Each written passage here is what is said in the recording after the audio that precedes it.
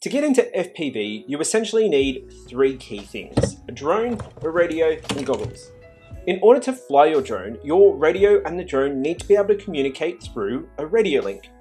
This can be a very detailed, technical, and somewhat confusing topic, but I'm going to make it simple and easy to understand so when you go to buy your radio and your drone, you don't make a mistake and buy the wrong one. There are a number of different radio protocols to consider when getting into FPV.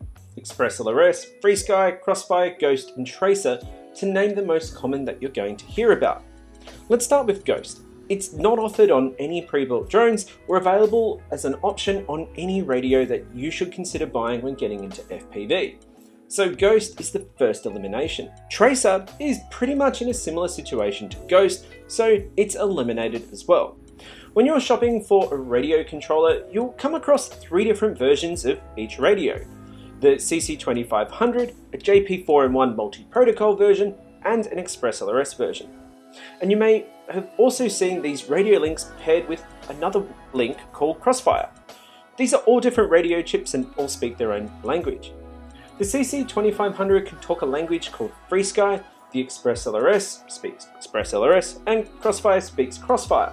But the JP4in1 multi-protocol speaks a range of different languages. When shopping for an FPV drone, you'll see them sold with different radio receivers, or which language they can understand. So let's just stop for a moment at the CC2500. This can only talk to some FrSky receivers, such as an XM Plus or a third-party receivers that have effectively copied the FrSky language, and matching compatibility with FrSky hardware is an absolute nightmare, and when you do have compatibility, the range and penetration is absolutely horrible and you could lose your radio link just meters in front of you. So the CC2500 is eliminated. You may now think that the multi-protocol version is a safe bet and a simple decision. After all, most radios today have a module bay that allows you to add Express LRS or Crossfire or any other radio link to your controller. Back in 2019, this would have been a safe decision, but today it's not so much and here is why. FPV originally borrowed radio links from RC planes. These served their purpose a few years ago, but you won't see them on any FPV drone today. The main radio options you're going to see, or what receivers are on the drones, are FrSky with options like an XM Plus, RXSR, D8 or D16, Express LRS in 2.4 GHz or 900 MHz, and of course Crossfire. Now going back to these old RC links, they're not even offered inside of FPV anymore. And as I said, you're best to avoid FrSky. But what about all the other weird and wonderful RC links that a multi-protocol version can do? Well, I haven't seen a single person use any of them. So a multi-protocol radio today is really pointless. Thus, it's eliminated. It seems we're left with an epic battle to the death between Express LRS and Crossfire. Now, which is better, easier, and has more features?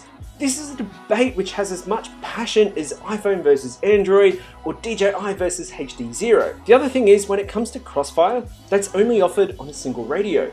And for all other scenarios, you're going to have to buy a Crossfire module to add it to your radio. So buying a radio with internal Express LRS is going to meet all of your needs and make it much easier to buy any kind of FPV drone. Whether it's a little whoop all the way up to a 5 inch and for every single purchase. Then if you want, you can add Crossfire through the external module bay. This is my Radiomaster TX16S Mark II and it's got internal Express LRS and I've also added a Crossfire module at the back. Gives me the best of both worlds. But knowing which radio protocol to choose is really kind of pointless if you don't know which radio you should buy in the first place.